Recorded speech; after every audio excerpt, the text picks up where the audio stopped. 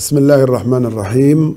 الحمد لله رب العالمين والصلاة والسلام على قائد المجاهدين محمد صلى الله عليه وسلم. اليوم إن شاء الله سنتحدث في موضوع جديد هو بعنوان الحفريات في مدينة القدس والمسجد الأقصى. سنتحدث طبعا عن تاريخ الحفريات ومراحل هذه الحفريات. طبعا نقسم الحفريات إلى مرحلتين. مرحلة أولى ومرحلة ثانية وكل مرحلة من هذه المراحل تنقسم إلى عدة أقسام. ثم سنتحدث عن مميزات كل مرحلة وبعد ذلك إن شاء الله سنتحدث عن آثار الحفريات في مدينة القدس والمسجد الأقصى. ثم النقطة الأخيرة مقاومة الفلسطينيين للحفريات. كيف يقاوم الفلسطيني الحفريات؟ إلى التفاصيل. الحفريات في مدينة القدس تنقسم إلى مرحلتين.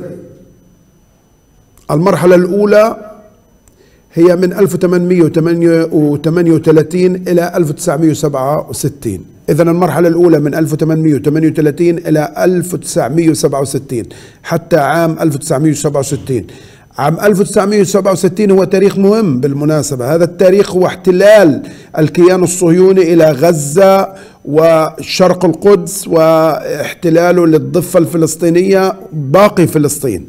لذلك احفظوا جيدا المرحلة الأولى من عام 1838 إلى عام 1967 المرحلة الثانية من عام 1967 إلى عام 1900 إلى 2012 مرحلتين. سنتحدث في المرحلة الأولى. المرحلة الأولى بدأت الحفريات الأثرية في القدس في بداية القرن التاسع عشر وبدعم من المؤسسات والجمعيات الصهيونية.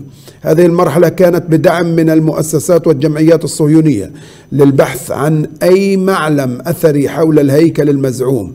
ونتيجة لذلك توالت البعثات الأثرية التي زاد عددها عن 30 بعثة. 30 بعثة في بداية القرن التاسع عشر. آه هذه البعثات كلها تبحث عن أي أثر أي قطعة أثرية. تدلل أن للصهاينة آثار للصهاينة حضارة في مدينة القدس وفي المسجد الأقصى. لنرى هذه البعثات 30 بعثة تقريبا. بعثة العالم الأمريكي إدوارد روبنسون.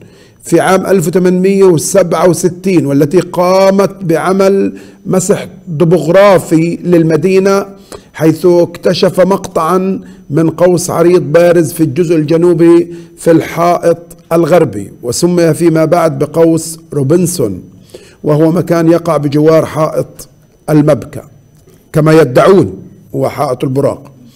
بعثنا آه البعثة التي الثانية هي بعثة تشارلز ويلسون وبعثة تشارلز وارن في عام 1867 وهذه البعثة كانت بتمويل من صندوق الاستكشاف الفلسطيني. طبعا تابع تابع للحركة الصهيونية. وباستخدام الرشاوى والعلاقات الشخصية تم التنقيب باتجاه الجدران الشرقية والجنوبية والغربية للمسجد الأقصى خاصة عند باب السلسلة والقطانين. إذا آه بعثة العالم الأمريكي البعثة الأولى في هذه المرحلة. قلنا هذه المرحلة فيها 30 بعثة 30 بعثة علمية كانت تبحث وتنقب وتقوم بالحفريات في مدينة القدس وحول المسجد الأقصى. أول بعثة على سبيل المثال من هذه البعثات بعثة العالم الأمريكي إدوارد روبنسون في عام 1867 البعثة الثانية بعثة تشارلز ويلسون وتشارلز وارن في عام 1867 كانت بتمويل من الصندوق الاستكشاف الاستكشاف الفلسطيني. استخدم الرشاوى هذا هؤلاء استخدموا الرشاوى من أجل الوصول إلى إلى المناطق إلى المناطق الحساسة كي يقوموا بالتنقيب في هذه المناطق. طبعا فلسطين كانت في ذلك الوقت تحت الحكم العثماني فهم رشوا بعض الولاة وحكام الأقاليم في الدولة العثمانية ليصلوا إلى أهدافهم. طيب. بعثة الكابتن باركر الذي حول بعثته عام 1909 آه، بالادعاء أنه يبحث عن كنوز سليمان ومن أجل ذلك استخدم الرشاوى للسماح له بالتنقيب. هذه البعثة جاءت وقال نحن نبحث عن آه، نريد أن نصل إلى كنوز سليمان عليه السلام. وبدأ هذه الذريعة التي تذرع بها.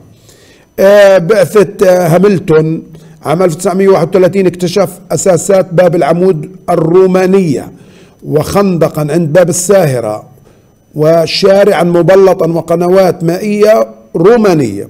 طيب اتصف آه، تلك الفترة بما يلي. هذه المرحلة المرحلة الأولى من التنقيبات والحفريات من عام 1838 حتى عام 1800 وسبعة عام 1967 اتصفت بعدد بعدد من المميزات من المواصفات. واحد كانت بعثات التنقيب تتم تحت غطاء علمي بذريعة دراسات تاريخية في المدينة. هكذا هكذا كانوا يدعوا دائما يدعوا دائما أنهم جاءوا لينقبوا عن الآثار عن الآثار وبطريقة علمية. يدعوا العلمية زي آه، بعثة تشارلز ويلسون وتشارلز وارن وبعثة إدوارد روبنسون في 1867 كلها آه، كانوا يدعوا أنهم جاءوا من أجل العلم وتقديم خدمة للعلم. عدم وضوح من الملاحظ أن هذه المرحلة الأولى اولا اتصفت أنهم كانوا يتستروا بالعلم. ثانيا عدم وضوح أهداف عمليات البحث والتنقيب في المدينة لدى المسؤولين والمجتمع المحلي. الفلسطينيين كانوا كانوا لم يلتفتوا لحتى الآن لم يتنبهوا إلى أهداف هذه العمليات. كانوا يعتقدوا فعلا أنها عمليات تنقيب علمية. آه، ثلاثة رغم طول الفترة الزمنية من 1838 إلى 1967 فترة زمنية طويلة جدا طويلة جدا. رغم طول الفترة الزمنية لهذه المرحلة التي تجاوزت القرن إلا أن نتائجها كانت محدودة. لا يوجد نتائج حقيقية. لا يوجد. اكتشفوا بعض الآثار بعض الآثار الرومانية الكنعانية الإسلامية. لم يجدوا أي شيء له قيمة. عند الصهاينة. آه كذلك لو لاحظتم أن هذه الحفريات بعيدة عن المسجد الأقصى لم تدخل تحت المسجد الأقصى. آه معظم الحفريات تمت حول المسجد الأقصى حيث لم يسمح بالتنقيب أسفله.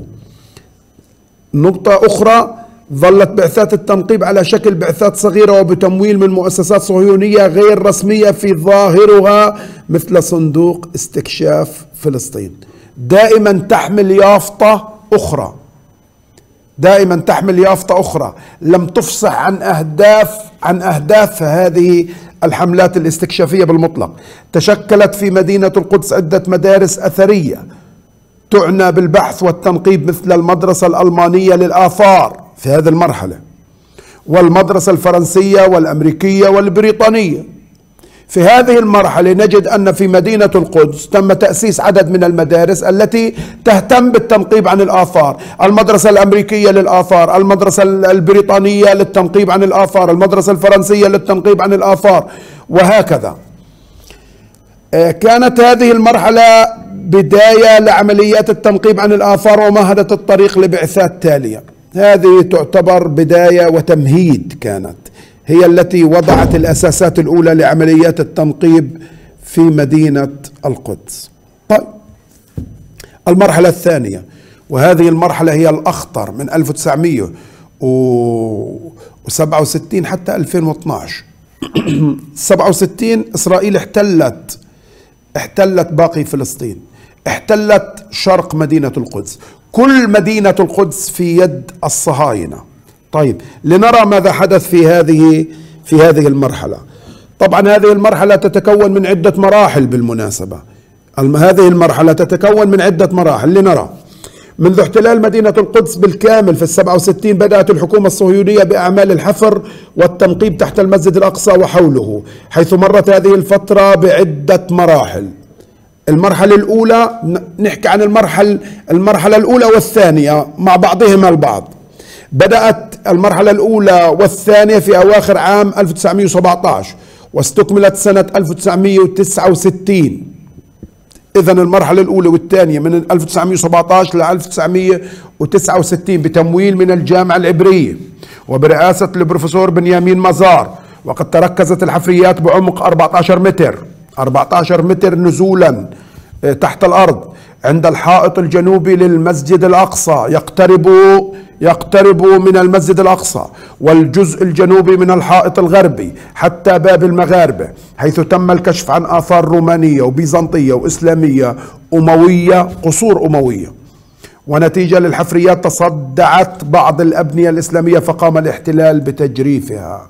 إذا المرحلة الأولى والثانية من عام 1917 من وعد بلفور وحتى عام 1969 هذه المرحلة أشرفت عليها جام الجامعة العبرية وبقيادة أحد بروفيسورات الجامعة المتخصصين البروفيسور بنيامين مزار. تركزت الحفريات 14 متر عمقا. كانت الحفريات تتركز عند الحائط الجنوبي للمسجد الأقصى. والجزء الجنوبي من الحائط الغربي حتى باب المغاربة.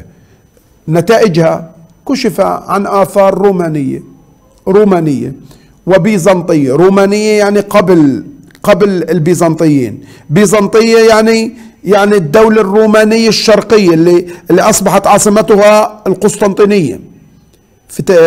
ثم آثار إسلامية أموية للدولة الأموية. طيب المرحلة الثالثة. إذا حكينا عن المرحلة الأولى والثانية. الحفريات تنقسم إلى مرحلتين. مرحلة أولى 1838 ل 1967 المرحلة الأولى. حكينا أن هذه المرحلة كانت تتستر وكانت آه، بشرف وبدعم الصندوق الاستكشاف فلسطين وبعثات أجنبية بحجة أنها جاءت لإجراء أبحاث علمية. تحدثنا عن ذلك. المرحلة الثانية هي المرحلة من عام 1000 من عام 1967 ل 2012 يعني للعصر اللي إحنا فيه. هذه المرحلة تنقسم إلى عدة مراحل. حكينا عن المرحلة الأولى والثانية. عن الأولى والثانية.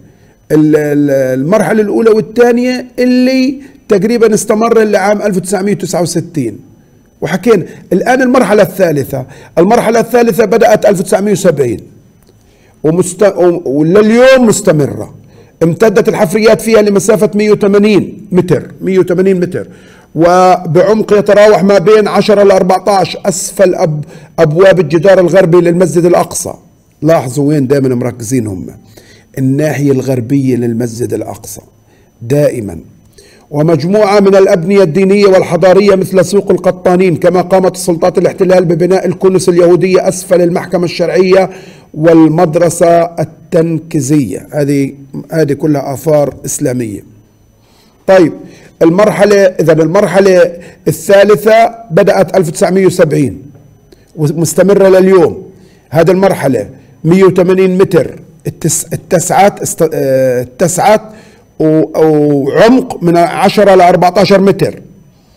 آه هذه المرحلة ركزت أسفل أبواب الجدار أبواب الجدار الغربي للمسجد الأقصى ناحية الغرب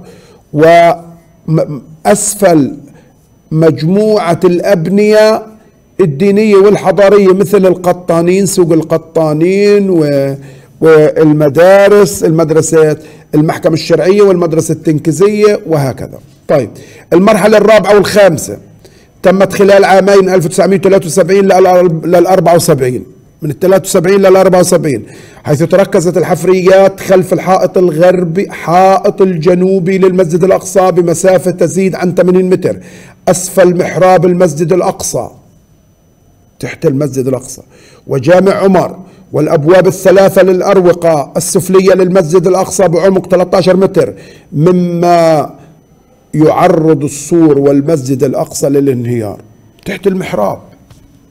وبفحروا 13 متر تحت المحراب تحت قواعد المسجد الأقصى ب 13 متر. هذا خلق صدوع في جدر المسجد الأقصى وفي في جدران المسجد الأقصى وفي أروقة المسجد الأقصى. هذا سبب التشققات والتصدعات في المسجد الأقصى. مرحلة خطيرة جدا هذه الرابعة والخامسة اللي من ال 73 لل 74 طيب. المرحلة السادسة في ال 75 بدأت سنة 75 بالقرب من منتصف الحائط الشرقي للسور المدينة والمسجد الأقصى لتهدد بإزالة القبور الإسلامية التي تحتوي على رفات العديد من الصحابة منهم عبادة بن الصامت وشداد بن أوس الأنصاري وعملت على مصادرتها لصالح منتزه إسرائيل الوطني. هذه المرحلة السادسة في الخمسة وسبعين بالقرب من الحائط الشرقي لسور المدينة والمسجد الأقصى. هذه عملت على إزالة القبور الإسلامية التي تحوي على رفات كبار الصحابة الذين عاشوا في مدينة القدس مثل عبادة بن الصامت وشداد بن أوس الأنصاري وصادرت هذه المناطق وحولتها إلى منتزه وطني للصهاينة. المرحلة السابعة هذه المرحلة استهدفت توسيع وتعميق ساحة البراق. البراق الشريف بضم أجزاء إضافية من الأراضي العربية المجاورة للساحة وهد وهدم ما عليها من مباني. المرحلة الثامنة تعد استكمالا للمرحلتين الرابعة والخامسة حيث تركزت الحفريات خلف جدران المسجد الأقصى الجنوبية. مما يهدد ومما هدد بتصدع هذه الجدران حيث أن الهدف منها كشف مدافن ملوك إسرائيل في مدينة داود طيب. المرحلة التاسعة. بدأت الحفريات فيها في 1981 أسفل الحائط الغربي ما بين باب السلسلة والقطانين باتجاه الشرق لمسافة 25 متر وعمق 6 متر وصولا إلى أسفل سبيل قايت باي وقد كانت محاولات لحفر فتحة فتحة رأسية للنفق كبوابة ثانية لتوفير التهوية ولإضاءة وتسهيل صلاة اليهود فيه. وهذه الحفريات أدت إلى حدوث تصدعات في الأروقة والأبنية الموجودة فوقها. العاشرة وهي أخطر المراحل لاستمراريتها وتشعب عمليات الحفر والتنقيب وتفريغ الأتربة والصخور من تحت المسجد الأقصى. تحت المسجد الأقصى العاشرة وقبة الصخرة مما يعرضها للتصدع والانهيار وأجريت الحفريات أسفل سور المسجد الغربي وصولا إلى باب الغوان بطول 450 متر نص كيلو. وقد استكملت الحفريات عقب ذلك في النفق حيث تم إقامة كنيس في أوسع أجزائه ومدينة سياحية يهودية أسفل المسجد الأقصى يؤدي إلى الزاوية الجنوبية الغربية منه وإقامة ما يعرف بالهيكل الصغير في موقع رباط الكرد الجدار الغربي للأقصى. في هذه المرحلة حفروا نفق طويل جدا أسسوا كنيس يهودي تحت المسجد الأقصى أسسوا هيكلا مصغرا أسسوا متحفا تحت المسجد الأقصى. أخطر المراحل المرحلة العاشرة لأنها توسعت بشكل كبير جدا واستهدفت المسجد الأقصى آه، بشكل واضح ومباشر. تميزت الفترة نشوف مميزات الفترة الثانية أو المرحلة الثانية من التنقيب اللي اللي قلنا من من ال 67 ل 2012 ما هي مميزاتها؟ خطيرة. المرحلة الأولى طويلة نتائجها ضعيفة. الفلسطينية لم يعرفوا بوجهتها وبأهدافها. آه، كان بدعموها صندوق استكشاف فلسطين التابع للحركة الصهيونية. آه، كانوا دائما بيبعثوا علماء ومستكشفين وبحجة انهم إنهم جايين يعملوا آه، أبحاث ودراسات علمية. طيب جميع الحفريات في المرحلة الأولى بعيدة قليلا عن المسجد الأقصى. لم تستهدف المسجد الأقصى. المرحلة الثانية من السبعة وستين ل 2012 لاحظوا مميزاتها. أخذت عمليات التنقيب طابعا رسميا بإقرار حكومي من خلال مصلحة الآثار الصهيونية. الأولى كانت يعني أكثر شيء بتدعمها مؤسسة جامعة آه، مؤسسات. لكن هذا قرار حكومي سياسة دولة. اثنين تواصل عمليات البحث والتنقيب خاصة تحت أساسات المسجد الأقصى وأروقته. استهدفت أساسات الأقصى والأروقة. ثلاثة تركزت الحفريات أسفل الحائطين الغربي والجنوبي. دائما الغربي والجنوبي الغربي والجنوبي. بيعتقدوا أنه هناك لهم آثار. هل وجدوا آثار؟ لم يجدوا أي شيء. أدت نتائج الحفريات إلى حدوث تصدعات وانهيارات في العديد من أروقة ومباني المسجد الأقصى والأحياء المجاورة له. هذه المرحلة هي التي هي المسؤولة عن تصدع جدران المسجد الأقصى وانهيار بعض الجدران. الإعلان عن اكتشافات جديدة تتعلق بالتاريخ اليهودي لخلق الذرائع لمواصلة أعمال الحفر تحت المسجد الأقصى وقبة الصخرة. في هذه المرحلة المرحلة الثانية والخطيرة من السبعة وستين ل 2012 أعلنوا أنهم أنهم وجدوا بعض الآثار اليهودية وهذا كذب وافتراء. هذا كذب وافتراء. أصلا لماذا أعلنوا؟ لكي ينشطوا الهجرة من أوروبا ومن ومن أمريكا إلى إسرائيل ويثبت المجتمع الصهيوني الذي يريد أن يفر ويعود إلى بلده الأصلي.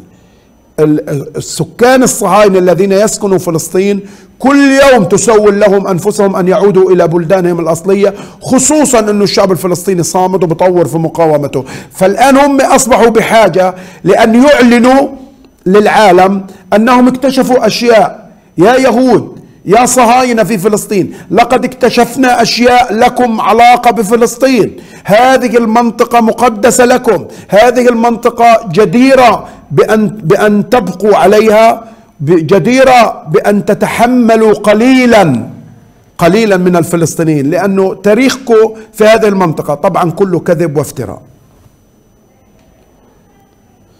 التوزيع الجغرافي للحفريات الأثرية في القدس. وقد تركزت أعمال الحفر في عدة مناطق ممثلة فيه. نشوف الجغرافيا تبعت الحفر. أين كانوا يركزوا؟ دائما يركزوا في أماكن معينة. لماذا يركزوا في هذه الأماكن؟ لاحظوا معي. أولا الحائط الغربي للبراق. طيب. الحائط الجنوبي. قرية سلوان. الحائط الشرقي. الحائط الشمالي. لنرى.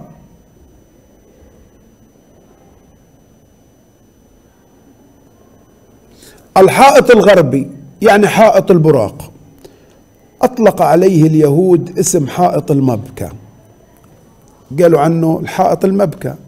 هو الحائط الجدار الذي يقوم بتنفيذ ممارسة بعض الشعائر.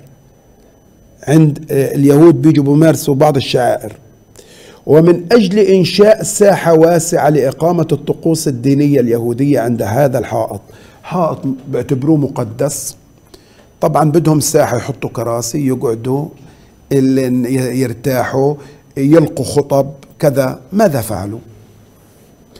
آه عمد الاحتلال إلى تدمير حائط حارة المغاربة. شوف الساحة اللي اللي بجوار مقابلة لحائط البراق. هذه حارة المغاربة. في السبعة وستين بعد أسبوعين من احتلال الصهاينة للقدس مسحوها دمروها. آه، إلى تدمير حارة, المغاربة وتسويتها بالأرض وتهجير سكانها. وقد كشفت أعمال الحفر عن أساسات حائط البراق وعن آثار إسلامية ورومانية بينما لم يعثر الصهاينة على أي معلم أثري يدلل على الوجود اليهودي في فلسطين. لذلك يخطط الاحتلال للإزالة للإزالة لتلك الآثار بحجة توزيع ساحة الصلاة لليهود وتسهيل اقتحام اليهود المتطرفين للمسجد الأقصى. كل ما بفحروا حوالين البراق تطلع لهم تطلع لهم آثار آثار إسلامية. آثار إسلامية. فعمدوا إيش؟ إلى تدمير كل المنطقة بحجة إنه حائط البراق وبدنا نوسع حوالين حائط البراق اللي هو بسموه حائط المبكى. لكي يتخلصوا من هذه الآثار. اثنين الحائط الجنوبي. ليش مستهدفين الحائط الجنوبي؟ أولت بعثات الآثار الحائط الجنوبي اهتماما كبيرا ولكن النتائج كانت آه، كانت أفضت إلى آثار بيزنطية وإسلامية. بلاقوا آثار بيزنطية وإسلامية فيش لهم آثار. فقد تم العثور على قصور أموية ملاصقة لهذا الجدار. وحاولت دائرة الآثار الصهيونية طمس هذه المعالم بنقل الردم وإقامة درجتين آه، ومصطبتين رخاميتين فوقها أمام الأبواب الثنائي والثلاثي والمفرد. صاروا يحطوا يعملوا درج ويحطوا رمل ويغطوا فيها من أول آه، كم ويغطوها لكي يطمسوا آثار الحضارة الإسلامية في هذه المنطقة. كما قال غوستاف لوبون إن حضارة اليهود إن دور اليهود في في الحضارة الإنسانية يساوي صفر. ليس لهم أي حضارة. أنا أتحدى في أي منطقة في الكرة الأرضية أن تأتوني بأي معلم أثري له علاقة باليهود. لا يوجد. لا يوجد. ثالثا قرية سلوان. تعرضت هذه القرية لأعمال حفر وتنقيب مكثفة ومستمرة حيث تم الكشف عن نظام معقد لنقل المياه يعود إلى 1800 سنة قبل الميلاد. وبقايا برجين حجريين استخدما لتدعيم شبكة المياه وقطع فخارية اقترنت بالعهد الكنعاني وجدوا آثار كنعانية. كما قامت سلطة الآثار الصهيونية عام 2007 بحفر نفق جديد يبدأ أسفل منطقة عين سلوان بمحاذاة مسجد عين سلوان متجها نحو الزاوية الجنوبية الغربية من المسجد الأقصى. أسفل مبنى المتحف الإسلامي بطول 800 متر. حتى يصل المدينة السياحية أسفل قبة الصخرة ومتوضأ الكأس وبعمق 20 متر وعرض 5 متر. وهذا أدى إلى حدوث انهيارات عدة. هم قرية سلوان كانوا بيعتقدوا أنه قرية سلوان هي المكان اللي كان فيه داود عليه السلام وسيدنا سليمان وكذا. عندما حفروا وتعمقوا وجدوا آثار كنعانية. ماذا يعني ذلك؟ أصلا أول من سكن فلسطين هم الكنعانيين. إذا أنت وصلت للكنعانيين للآثار الكنعانية في هذه المنطقة معنات الكلام لا يوجد شيء تحتها. لا يوجد شيء تحتها. إذا أنت وصلت إلى آخر الآثار. إذا إلك شيء أنت أثار ممكن يكون فوق الأثار الكنعانية لكن لم يجدوا. فبالتالي بالتالي انتهى. أقدم آثار في فلسطين هي الآثار الكنعانية لأنه الكنعانيين هم أكثر أول الناس اللي سكنوا في فلسطين وسكنوا قبل 2500 سنة قبل الميلاد. الحائط الشرقي آه، من أبرز الآثار المكتشفة لما حفروا حول الحائط الشرقي للمسجد الأقصى وجدوا مقبرة الرحم التي تعرضت إلى أعمال النبش والحفر والتدمير حيث تم تجريف المئات من قبور الصحابة والتابعين وشهداء المعارك ضد الصليبيين بذريعة التطوير والإعمار وتحويل المقبرة لمنتزه وطني لطمس أي معالم أثرية. الجدار الشرقي عنده مقبرة الرحمة عنده قبور الصحابة كبار الصحابة والتابعين والعلماء جرفوها وعملوها منتزه. الحائط الشمالي الحائط الشمالي. بدأت الحفريات الصهيونية عند باب الأسباط عام 1982 بحجة وجود بركة إسرائيل وانتهت الحفريات في ال 84 دون أن يعثر أو يعثروا على أي معلم أثري لليهود في هذا المكان ولن يعثروا. مشاريع مرتبطة بالحفريات. مشروع واجهة القدس الاستيطاني. يتمثل في مجموعة من المرافق السياحية والجسور والأنفاق والساحات الترفيهية في البلدة القديمة وحولها وذلك لتعزيز ربط اليهود بأرض الأجداد. لما هم بدأوا في عمليات الحفر والتنقيب والحفريات تحت المسجد الأقصى كانوا يقوموا بمشاريع ممولة مشاريع زي مشروع واجهة القدس الاستيطاني متحف الأجيال عملوا متحف. فقد أقام اليهود مدينة سياحية أسفل مسجد قبة الصخرة تحت الأرض. ومتوضأ الكأس تحت المسجد قبة الصخرة ومتوضأ الكأس. تلتقي عندها الأنفاق المحفورة حيث تضم كنيسا يهوديا ومعهد ومتحف يهودي. كل خطوط ال ال ال الأنفاق اللي تحت المسجد الأقصى تلتقي في هذا المكان تحت قبة الصخرة. في هذا المكان عملوا متحف. وعملوا كنيس وعملوا معهد وعملوا كذا. عاملين عالم آخر تحت المسجد الأقصى. عالم آخر عاملين تحت المسجد الأقصى. الآثار المترتبة على الحفريات من المنطق والعقل ماذا يقول؟ حفريات ليل نهار تحت أساسات المسجد الأقصى ومعالم المسجد الأقصى. أولا حدوث انهيارات وتصدعات أرضية للعديد من المعالم التاريخية والحضارية مثل انهيار الطريق المؤدي إلى باب المغاربة حدوث هبوط في المدرسة التنكيزية وسبيل قايتباي بدأت الشوارع تقع بدأت الجدران آه، تتصدع وبعضها وبعضها آه، آه، ينهار وهكذا. قيام شركات صهيونية بانتزاع أحجار السور في البلدة القديمة واستبدالها بأحجار جديدة بحجة الحفاظ على السور ولكن هدفها من ذلك تزوير التاريخ وتهويد. أقول لكم هل تعلموا أن الجامعة العبرية صنع الصهاينة سور الجامعة العبرية من أحجار المدن الكنعانية القديمة؟